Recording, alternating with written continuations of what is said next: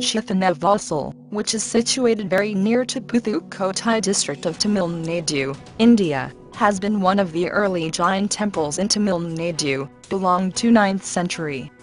This rock-cut temple is on a fine look, which is very popular for its bas-relief sculptures, and for its antique fresco paintings, which have come next to the frescoes of Ajanta paintings, of India.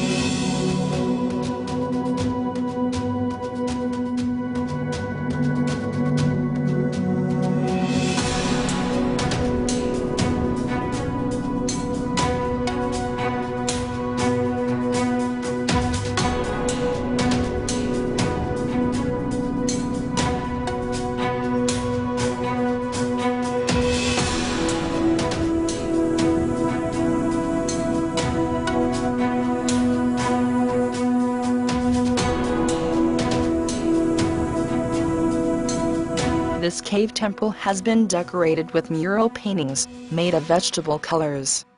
The ceiling of the artha mandapam has been depicted with the lovely paintings of a lotus tank, with realistic figures of men, animals, flowers, birds, fishes, and geometrical motifs, using with fresco secco technique.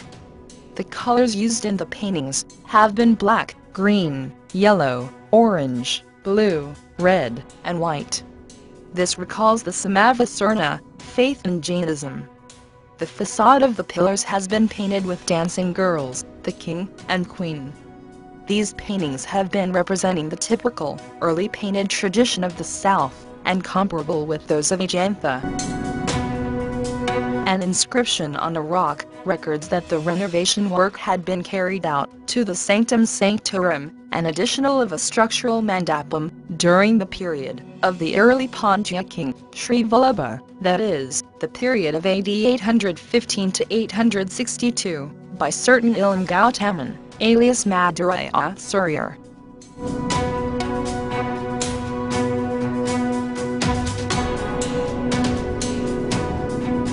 This rock-cut Jain temple was excavated in the early Pandya period, that is, AD 7th century. This cave temple is facing towards west, and it consists of a square sanctum sanctorum, and a rectangular artha mandapam. The rear wall of the sanctum sanctorum contains bas-relief structures of three Jain Tirthankaras, in sitting posture. The side wall of the artha mandapam shows the bas-relief structure of Parsuvanatha and Jainacharyas.